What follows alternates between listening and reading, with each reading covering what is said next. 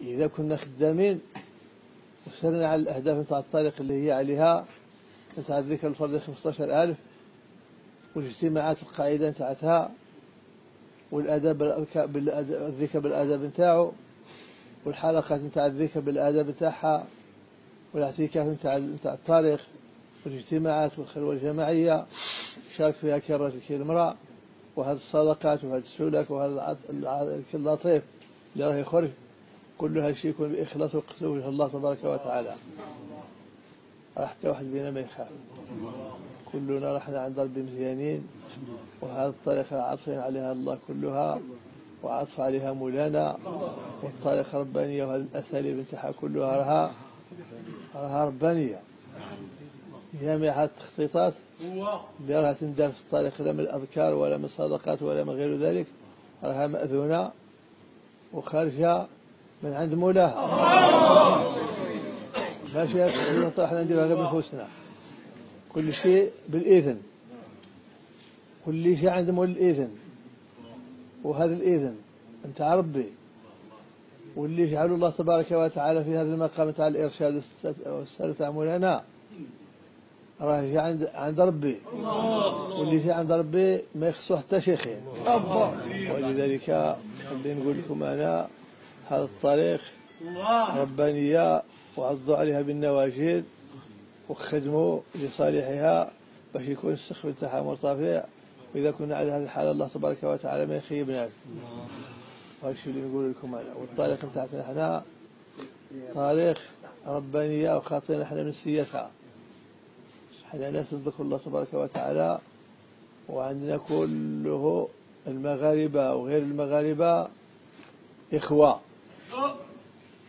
وما متوجهين حتى ما يكونوا ضد حتى في جامع الجهات لا للأفراد ولا للجماعات ولا الأحزاب ولا غير ذلك.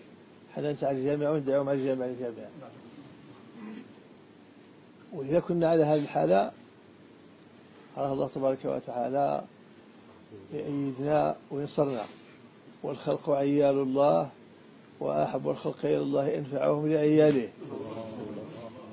طبق علينا هذا الحديث. وحنا اللي نأمر بالمعروف والنهي عن المنكر وعليكم بالتبشير بالكتاب والسنة. لأنه الشريعة هي الباب. والبيت إذا ما دخلت من ذيك الباب ما غاديش تعرف اسمه كان هنا في هذا البيت. والبيت هي الحقيقة.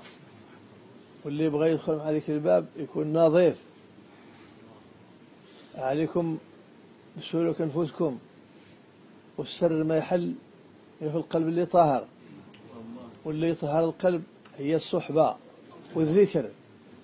ولذلك الصوفية يحث على الاعتزاف على الذكر لأنه الذكر هو الباب والوسيلة والغاية هي دخول الحضرة الإلهية. وإذا ما كانش القلب نظيف السر ما يحلش في القلب اللي ماشي نظيف. أبا. ها؟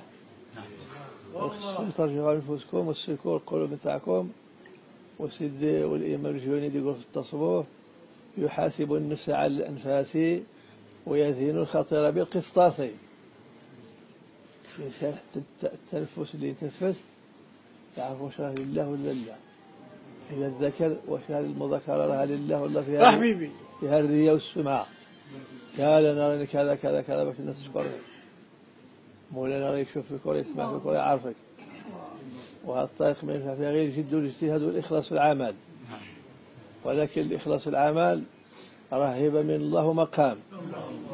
ما يدرك الإنسان حتى يفنى عن جميع الموجودات وجميع المكونات. ويموت والتركة نتاعته تفرق.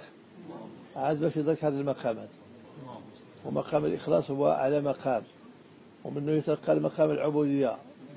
لله تبارك وتعالى. وكل هذا الشيء ماشي تقولوا بعيد والله وإنما هذا الطريق مهيئة وخص الله تبارك وتعالى هذه الأمراض.